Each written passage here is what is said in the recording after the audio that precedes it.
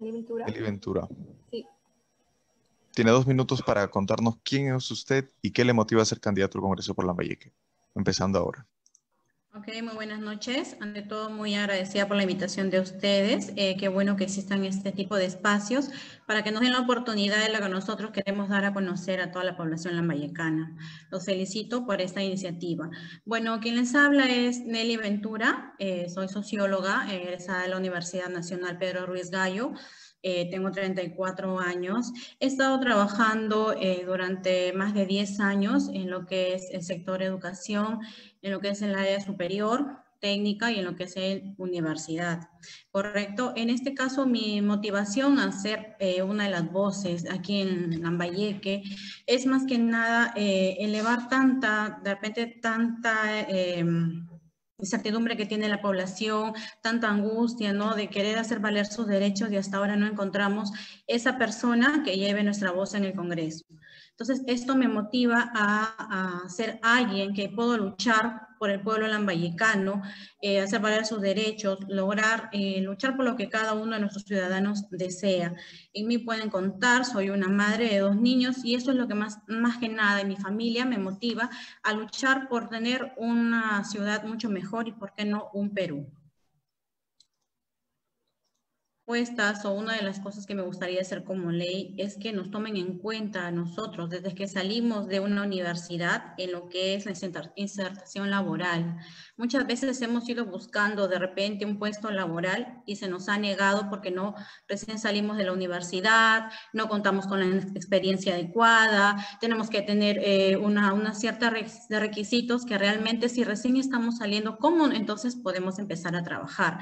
Preocupados en ellos es una de las eh, las propuestas que traigo para lo que es la población juvenil. Como joven que soy, como joven que he sufrido y he tocado muchas puertas perdón, para poder obtener un puesto laboral, es lo que estoy promoviendo ahora, ¿no? La contratación de jóvenes eh, por parte de las empresas, que no nos pongan tantas trabas y nos pongan en cuenta, de tal manera de que sea un porcentaje en la cual las empresas necesariamente tengan que tener los jóvenes. Venimos con nuevas ideas, salimos con nuevos, este, con nueva eh, información dentro de la universidad, dentro de lo que es la investigación. Entonces, también tenemos que ser parte de repente y darles esa información que tenemos ahora y podemos de repente llegar a, llevar a nuevas empresas, ¿correcto? Eso es por un lado.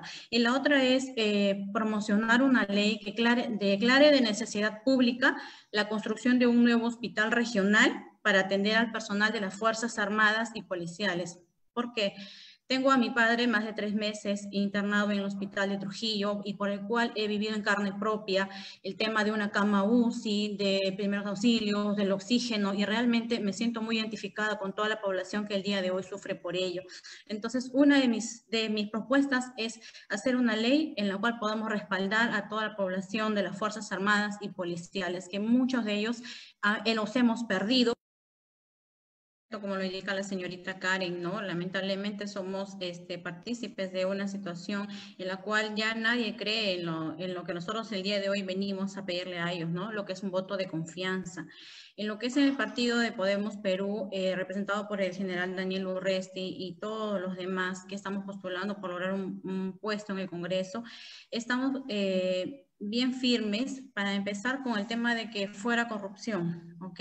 Dándole eh, un respaldo a nuestro candidato que es lo que está indicando es eliminar todo lo que es el tema de la corrupción, estamos yendo con, perdón, profesionales que están bien dirigidos, tenemos un plan de gobierno el cual está bastante eh, sustentado y muchas veces ya lo han demostrado en la, televisión, están indicando bastante las leyes que nosotros estamos promoviendo por luchar por un Perú y en todo ello lo único que rescato, este, queridos amigos, es que eh, muchos de ellos no están luchando realmente porque, como algunos dicen, por llegar al, poder por situación económica, sino que realmente nos encontramos preocupados en la situación actual en la que vivimos, empezando desde lo que es la salud, lo que es la delincuencia, ¿no?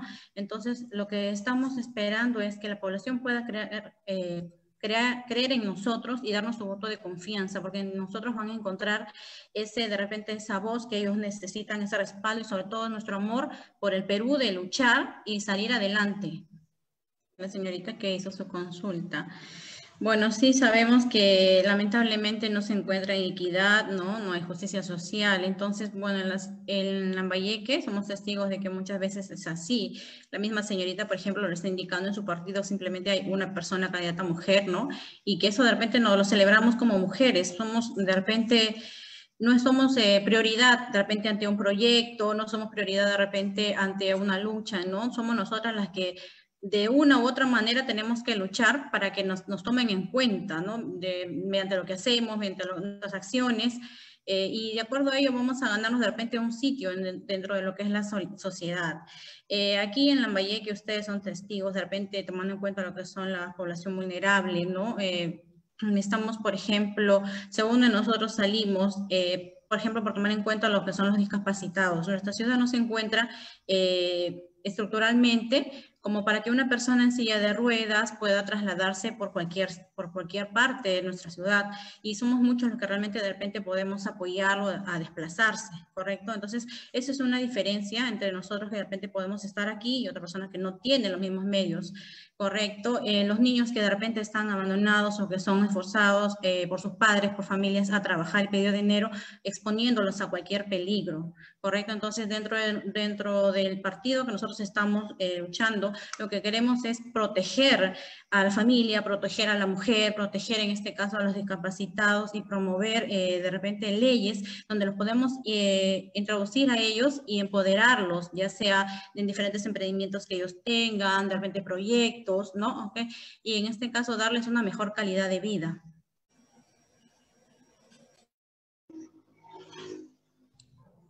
Ok, disculpa, Reina. Bueno, eh, agradezco tu pregunta. Mira, eh, siendo sinceros, creo que actualmente nos encontramos en una situación eh, difícil, ¿no? El, tema de lo que es la sanidad.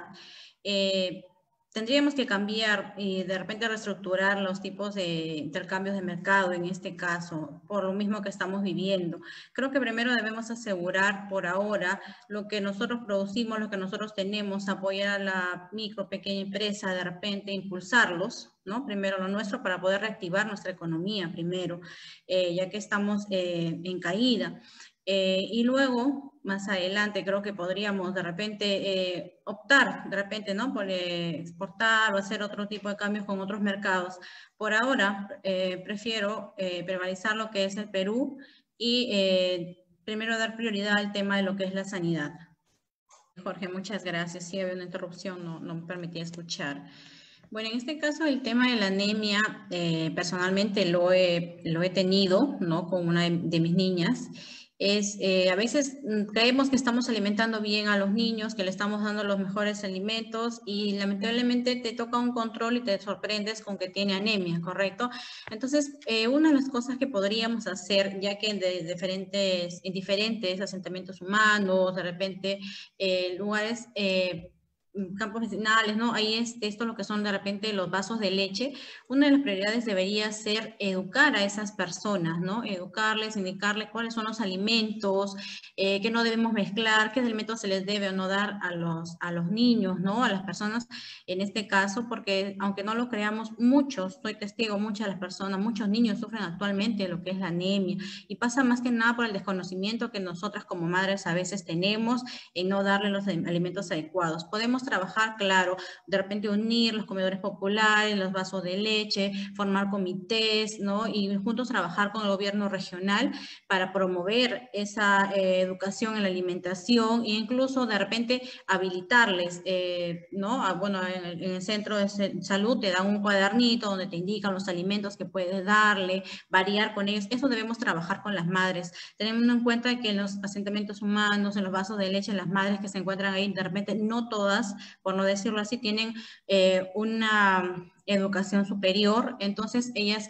con el afán de ayudar y creer estar, mm, eh, darle una buena nutrición a nuestros niños, están de repente dando a una ayuda, puede ser, a las personas de repente de bajos recursos económicos, pero sería muy bueno eh, priorizar lo que es la educación alimentaria en este caso, junto, trabajando con el gobierno regional, con gobiernos locales también.